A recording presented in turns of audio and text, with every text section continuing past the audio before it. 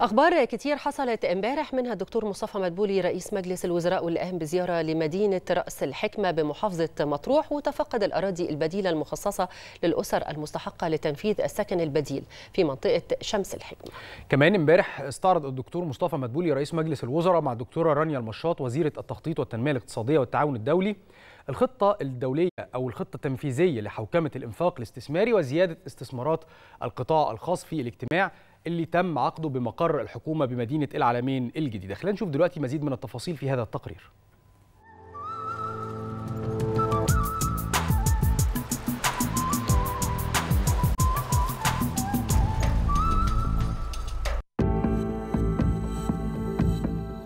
أخبار كتير حصلت امبارح. الدكتور مصطفى مدبولي رئيس مجلس الوزراء قام بزيارة لمدينة راس الحكمة بمحافظة مطروح.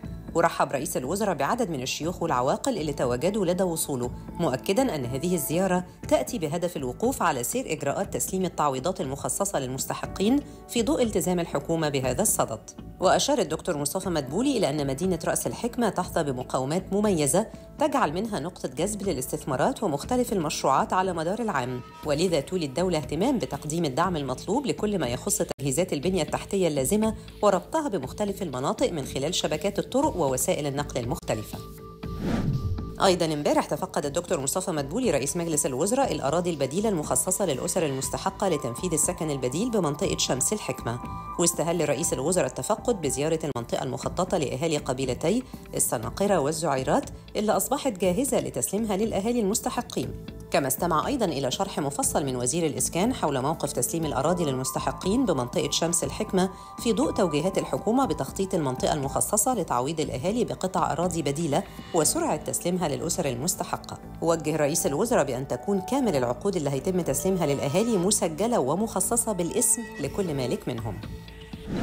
كمان امبارح استعرض الدكتور مصطفى مدبولي رئيس مجلس الوزراء مع الدكتورة رانيا المشاط وزيرة التخطيط والتنمية الاقتصادية والتعاون الدولي الخطة التنفيذية لحوكمة الإنفاق الاستثماري وزيادة استثمارات القطاع الخاص في اجتماع عقده بمدينة العالمين الجديدة. في مستهل الاجتماع أكد رئيس الوزراء أن هذا الاجتماع يأتي لمتابعة الإجراءات التنفيذية لحوكمة الإنفاق الاستثماري العام في ظل ما تتبناه الدولة المصرية من تحديد سقف محدد للاستثمارات العامة وزيادة مساهمة القطاع الخاص في النشاط الاقتصادي.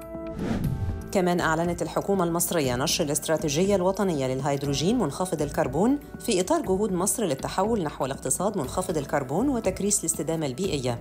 وأكد الدكتور مصطفى مدبولي رئيس مجلس الوزراء أهمية هذه الاستراتيجية ضمن الخطوات الرامية لتحقيق أهداف التنمية المستدامة رؤية مصر 2030 حيث تسهم في تعزيز جهود مصر نحو تنويع مصادر الطاقة النظيفة والمستدامة والحد من انبعاثات الكربون بما يتماشى مع التزاماتها الدولية في مكافحة تغير المناخ امبارح عقد الدكتور مصطفى مدبولي رئيس مجلس الوزراء اجتماع لمتابعة الإجراءات التنفيذية لمبادرات دعم القطاعات الإنتاجية، الصناعة والزراعة وقطاع السياحة. استهل مدبولي الاجتماع بتأكيد أهمية المبادرات التي تطلقها الدولة لدعم القطاعات الإنتاجية زي الصناعة والزراعة، فضلاً عن المبادرة الموجهة لقطاع السياحة، وده في ظل استهداف الحكومة دعم هذه القطاعات الحيوية واللي بيأتي في إطار رؤية مصر 2030 أيضاً اللي بتستهدف النهوض بعدد من القطاعات الاستراتيجية التي من شأنها أن تقود الاقتصاد المصري خلال المرحلة المقبلة.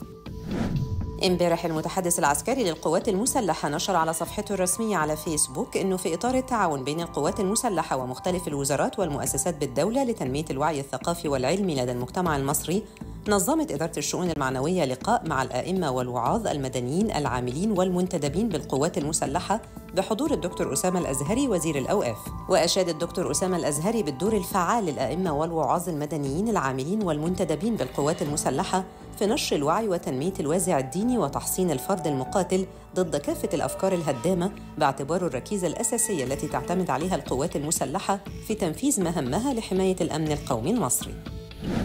أيضا المتحدث العسكري للقوات المسلحة نشر على صفحته الرسمية على فيسبوك أنه استمرارا لجهود القوات المسلحة في تأمين حدود الدولة على كافة الاتجاهات الاستراتيجية نجحت قوات حرس الحدود بالتنسيق مع الأفرع الرئيسية للقوات المسلحة والتشكيلات التعبوية في توجيه ضرباتها الناجحة للعناصر الإجرامية والمهربين وإجهاض المخططات والمحاولات التي تستهدف الإضرار بالمجتمع والأمن القومي المصري. وبتواصل قوات حرس الحدود جهودها المكثفة ليلا ونهارا في تأمين حدود الدولة البرية والساحلية بالتزامن مع تكثيف إجراءات الإحكام والسيطرة الأمنية على كافة المنافذ والمعابر الحدودية للدولة.